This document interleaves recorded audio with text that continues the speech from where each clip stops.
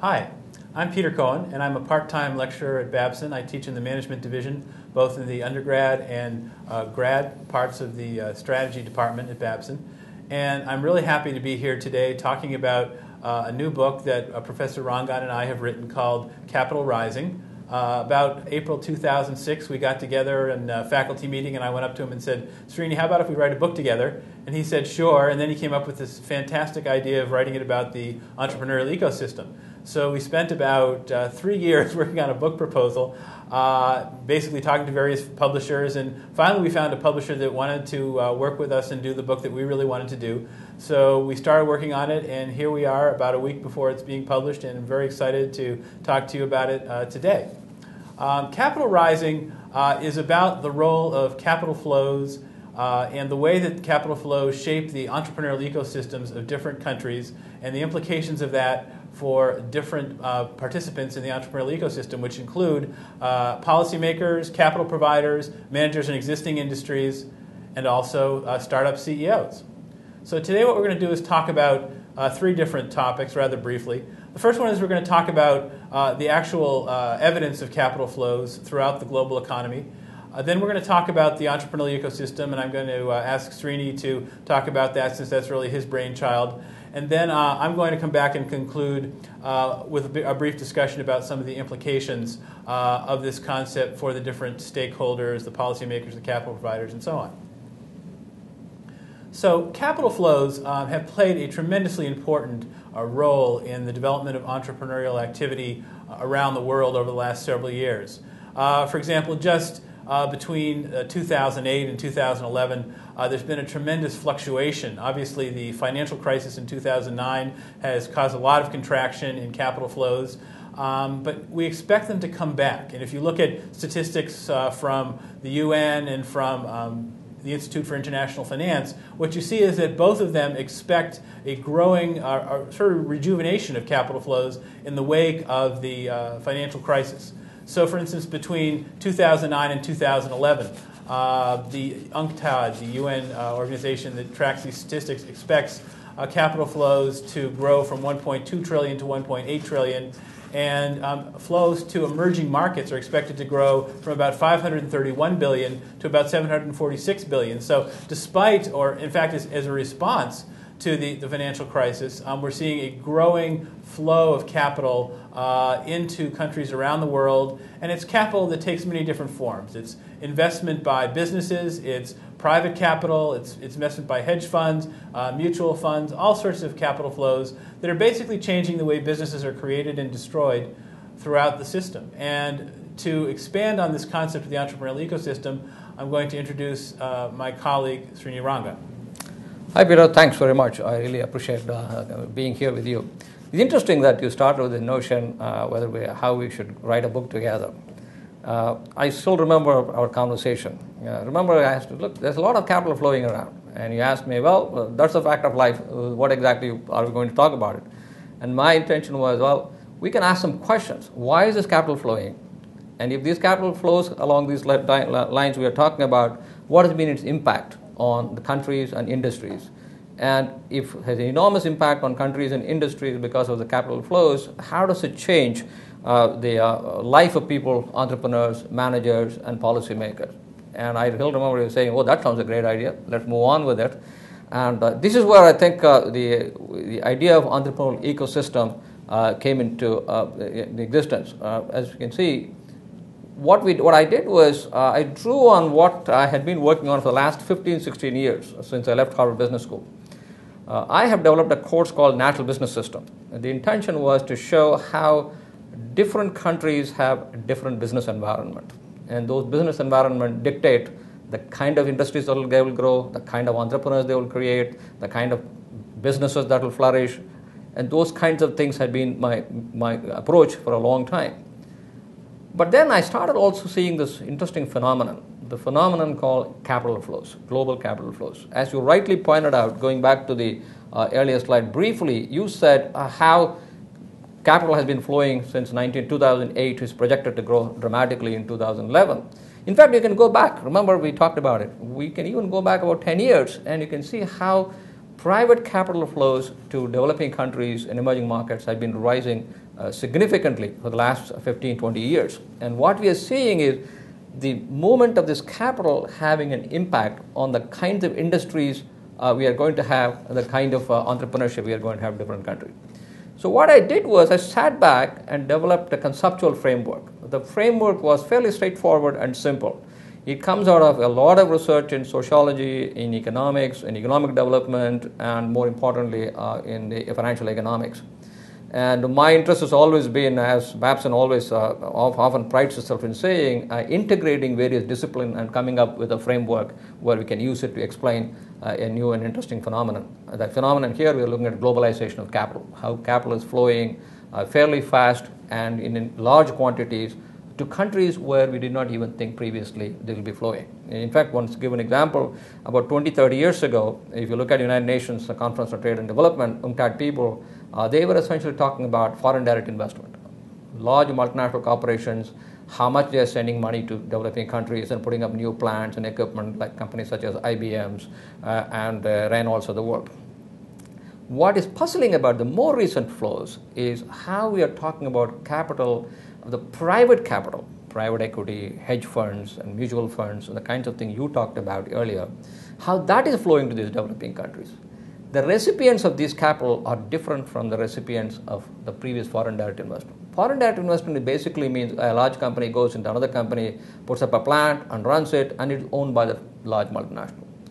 The private equity we are talking about, private capital we are talking about, flow is flowing to companies, new companies, new entrepreneurs, or established companies in some of these emerging economies who are essentially trying to transform themselves in an entrepreneurial fashion. So, what is interesting is for us is to say what determines which country gets it, what determines which entrepreneur will get it, what determines which industry will get it, and then next question what are the implications of that i think that seems so once we started talking along these lines and it, it to me my natural business system concept with some appropriate modification can apply here. That's what I call the entrepreneurial ecosystem. If you look at uh, the entrepreneurial ecosystem model, it's fairly straightforward and simple. Uh, as you can see on the picture here, there are only four major factors, which I call institutional factors, which I put in there. The first is what I call human capital.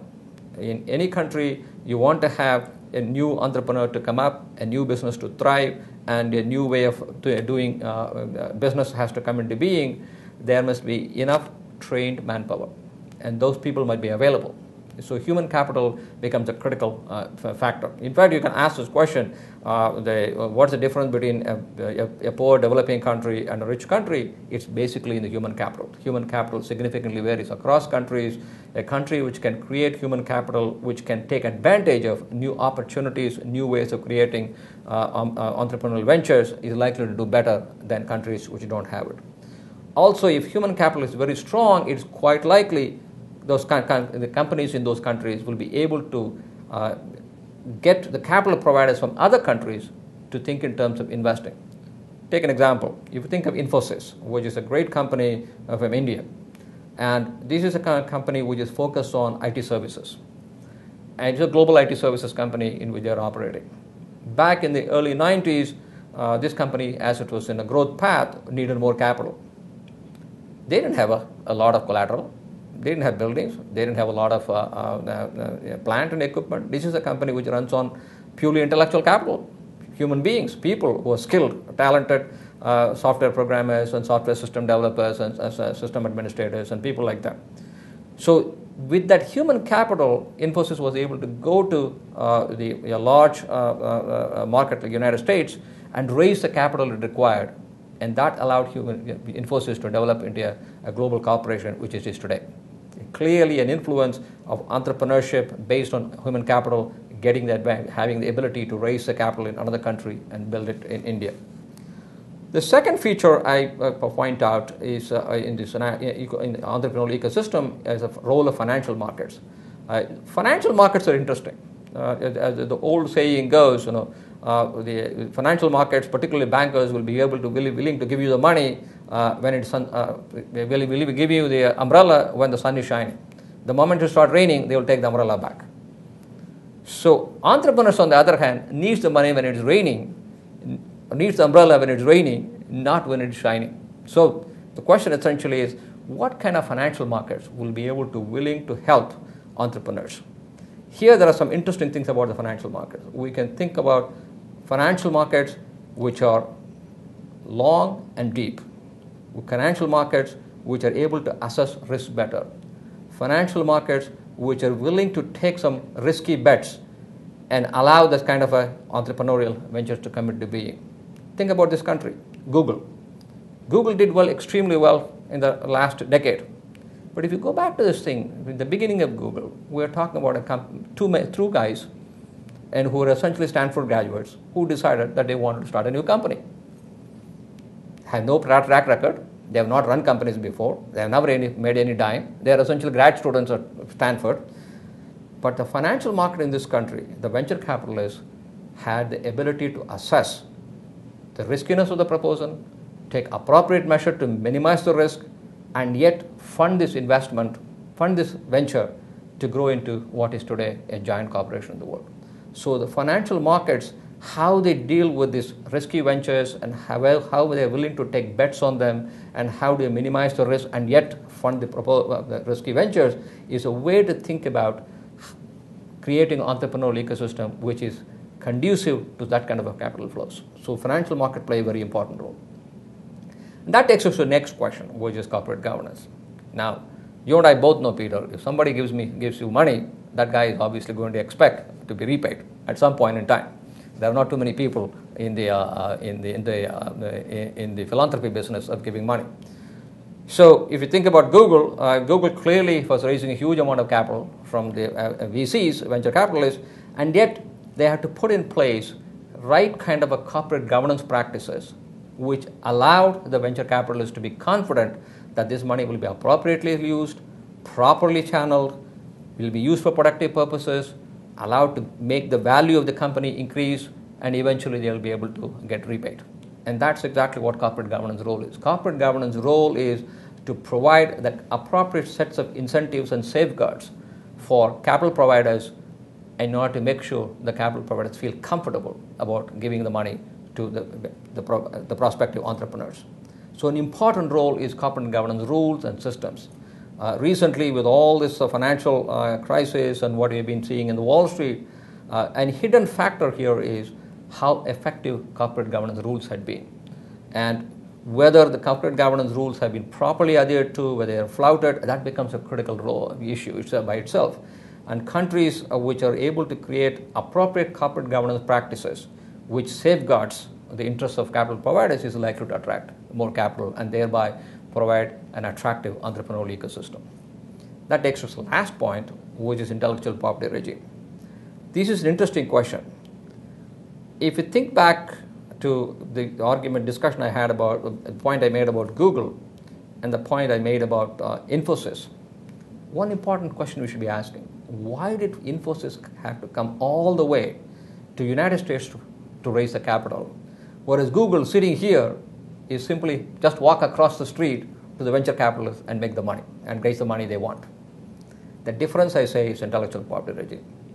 India had, for the last and from 1970 to 2005 for 35 years had a system of intellectual property rights which essentially said if you have an intellectual property kiss goodbye to it you will not be protected india did it as a policy decision because they thought they will be that's the way the indian pharmaceutical industry can grow they can essentially steal anybody else's ideas and build on it and create generic medicine perhaps it's justified from the Indian uh, government policymakers' perspective. They wanted to get cheap medicine to the Indian masses.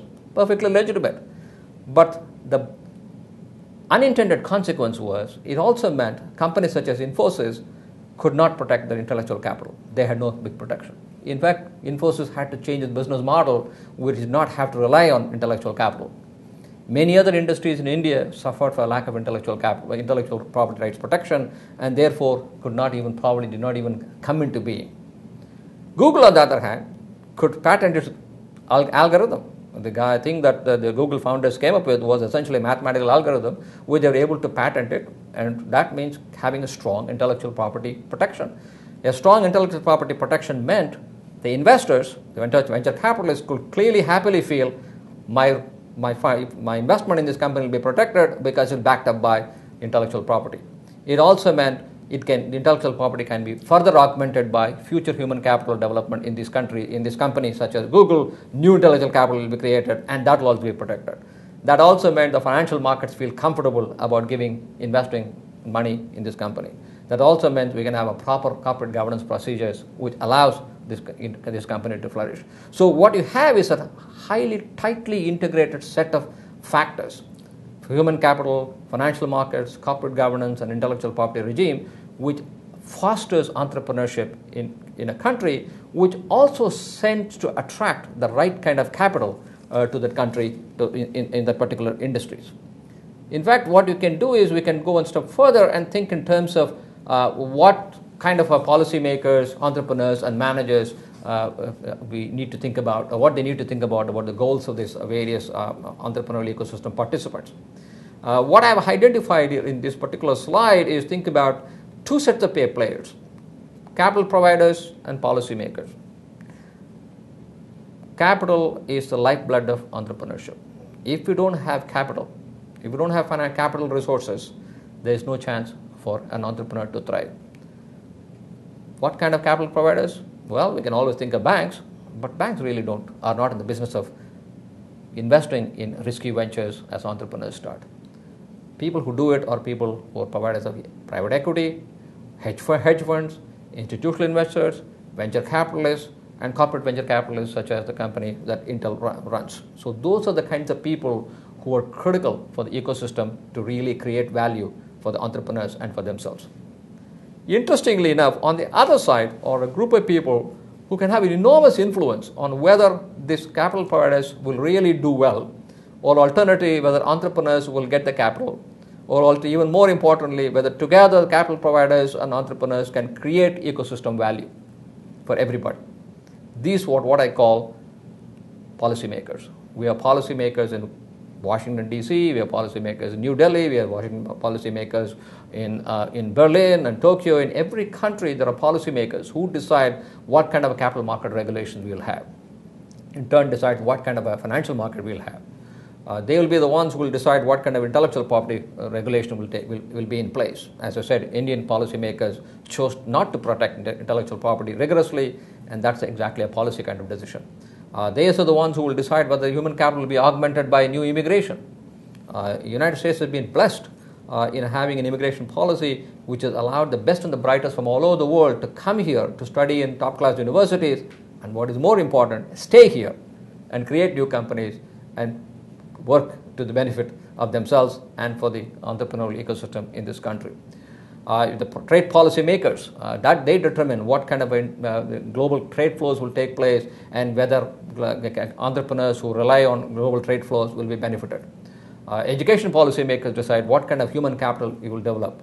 Uh, in all our conversations in Washington, D.C., and here nowadays, where we talk about education uh, and what, what we need to do in order to foster better education achievement in, in, in schools, one of the important idea which is missing is if we don't get that right, the entire entrepreneurial ecosystem in this country will be at risk.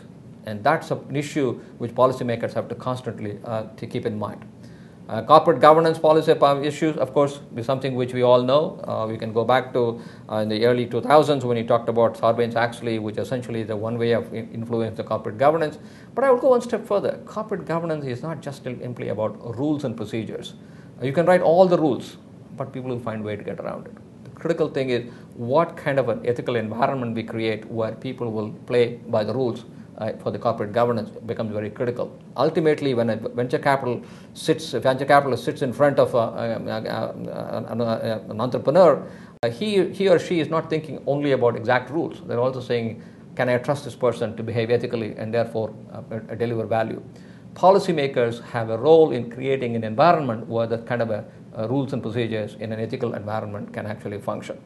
So what we have is an entrepreneurial system where the value is created not just simply by the, the previous uh, uh, the, the, framework I showed. Uh, more importantly, it's also about having the policymakers and capital providers coming into play and helping the existing firms and industries as well as new firms and industries to change the direction in which they're going and how well they do.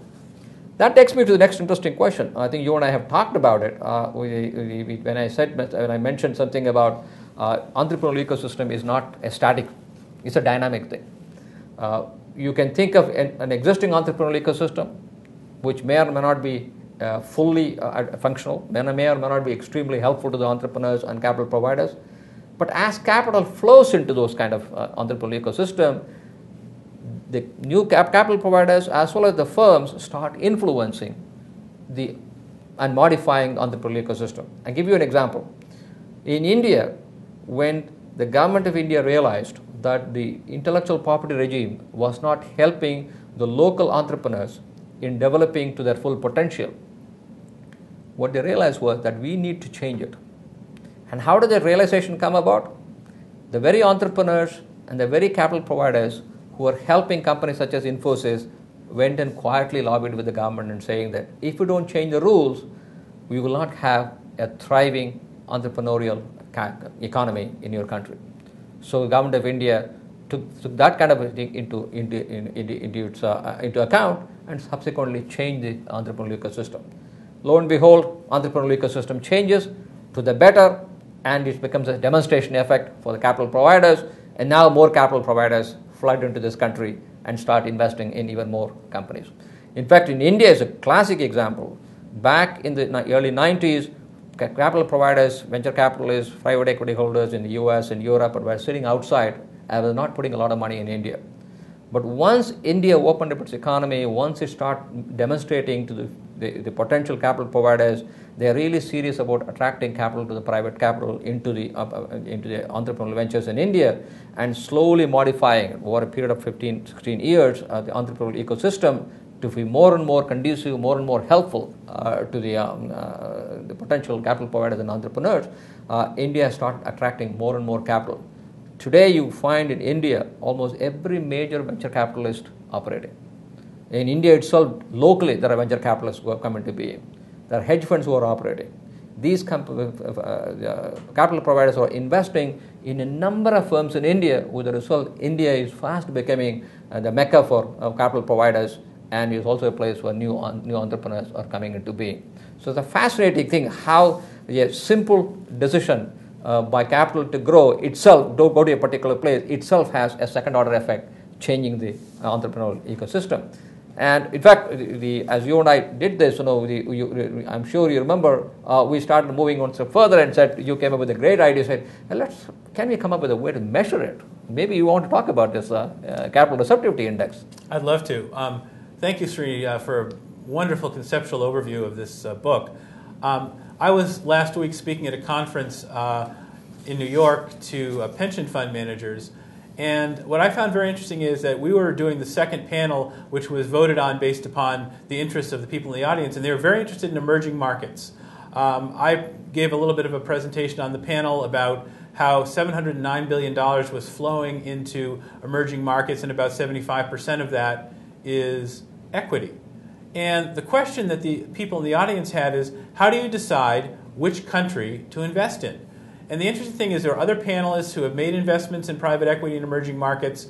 Um, and when I showed this slide, uh, their eyes lit up and they said, yes, this is the framework that we need to use in order to decide which countries uh, to invest in. What's very interesting about the entrepreneurial ecosystem um, is that when you try to measure it, uh, and we came up with the idea of this capital receptivity index, which basically is a way of measuring how receptive a country is to uh, capital flows. Um, what you realize is that some countries uh, are not really going to change certain aspects of their entrepreneurial ecosystem very rapidly. For instance, China uh, has a reputation, uh, well deserved, I think, from investors, of not really protecting intellectual property. The question is given the growth rates there, and by the way, uh, China is the largest uh, recipient of uh, emerging markets flows, at least it was in 2009, with India being second. Um, there's so much growth in China that uh, private equity is flowing and equity uh, is flowing to China, despite the fact that it doesn't have uh, a strong uh, performance on intellectual property protection. And what venture capitalists do is that they look at that and say, I'm going to accept that as a given for now, with the hope that over time there'll be a demonstration effect which will cause them to improve their intellectual property protection. But for the time being, I'm going to understand that specific limitation about its entrepreneurial ecosystem in order to figure out which industries I should invest in. So rather than investing in a business that is very technology and intellectual property intensive, I'm going to focus on industries where um, it's a service business. It's taking the eBay concept and applying it in China, or the um, Apple iTunes and bringing that to China. Basically, something which is essentially a service business, which does not depend on uh, intellectual property in order to be a, a successful business and to make returns for investors. And one uh, venture capitalist we spoke to mentioned one investment that he had made in a service like this uh, in China, which got the company a, a 100 to 1 return on its investment. And I found that to be a very interesting example of how using a capital receptivity index, which looks into the details of how do you measure the strength of an intellectual property regime or how do you measure the strength of corporate governance, and applies that uh, to a particular country can help you focus on a specific industry sector that uh, is going to allow you as a capital provider to gain the greatest returns on your investment without uh, sort of stumbling on some of the risks inherent in, uh, for instance, investing in intellectual property uh, in a country where it doesn't have much respect for intellectual property, in which case there's a major risk that you'll have your uh, investment basically absconded with.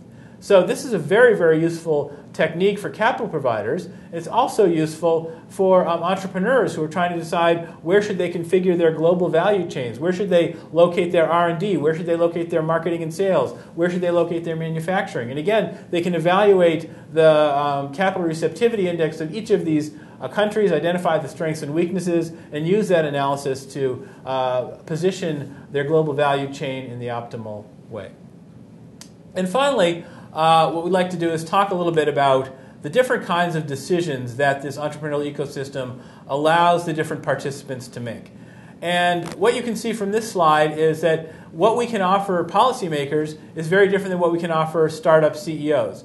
For instance, for policymakers, uh, we can use, they can use the entrepreneurial ecosystem to help them figure out how to attract private capital flows, how to encourage business investment into their countries. Whereas for startup CEOs, this is a very useful framework for helping them to decide where to perform activities uh, in their value chain, uh, how to hire managers around the world, how to coordinate global operations, and where to seek capital. So basically, we've provided a framework. In, in, in our book, we discuss uh, from the perspective of each of the different major participants in the entrepreneurial ecosystem, the kinds of strategic decisions that we can help them make using the entrepreneurial ecosystem framework um, as, as a tool to help them understand most important decisions that they make in a slightly different manner.